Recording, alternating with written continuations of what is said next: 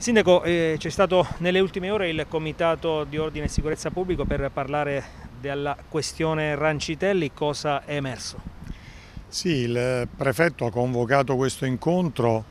anche su mia sollecitazione perché sabato è avvenuto questo episodio negativo per la nostra città di una macchina incendiata, di una persona che era già stata minacciata altre volte, quindi il prefetto ha convocato un tavolo, devo dire molto concreto, perché eh, sono emerse eh, posizioni abbastanza rigide, eh, nel senso che c'è la volontà di intensificare ulteriormente i controlli nelle zone a rischio, eh, di fare delle attività ulteriori che possano eh, mettere non soltanto i cittadini in sicurezza, ma anche far capire a tutti che c'è la presenza dello Stato, che c'è la presenza delle istituzioni, una presenza forte, determinata, una presenza che difende i cittadini per bene e eh, sanziona pesantemente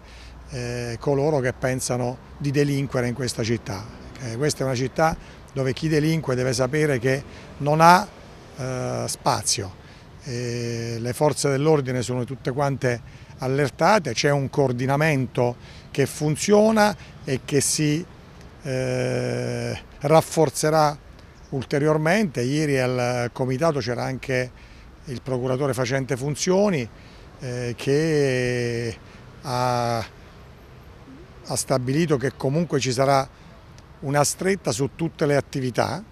eh, proprio per garantire i cittadini per bene. Abbiamo gli agenti della Polizia Municipale purtroppo non nel numero che vorremmo, ma stiamo lavorando per ampliare questo numero con i concorsi che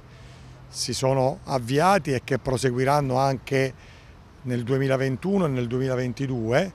eh, proprio per fare in modo che tutti gli agenti di polizia municipale in grado di farlo eh, siano per strada per difendere le persone serie, le persone corrette, coloro che vogliono vivere la città eh, eh, rispettando il senso civico doveroso per tutti e nel momento in cui eh, questi agenti amplieranno il numero sul territorio sicuramente avremo la possibilità di eh, fare in modo che stiano in tutti i quartieri, non soltanto eh, nel quartiere di Villa del Fuoco.